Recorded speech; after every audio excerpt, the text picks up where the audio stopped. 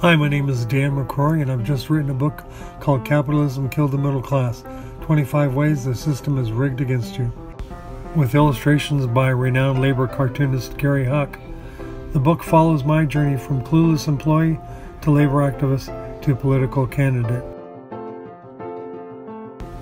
The book exposes our political system for what it is a way for the rich to get richer and the powerful to gain more power.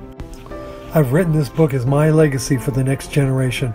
Each chapter examines one or more ways in which the system has been rigged housing, the gig economy, our healthcare system, and of course, our criminal justice system. We used to think that if you worked hard and saved your money, you could buy a house and own your own little part of the American dream.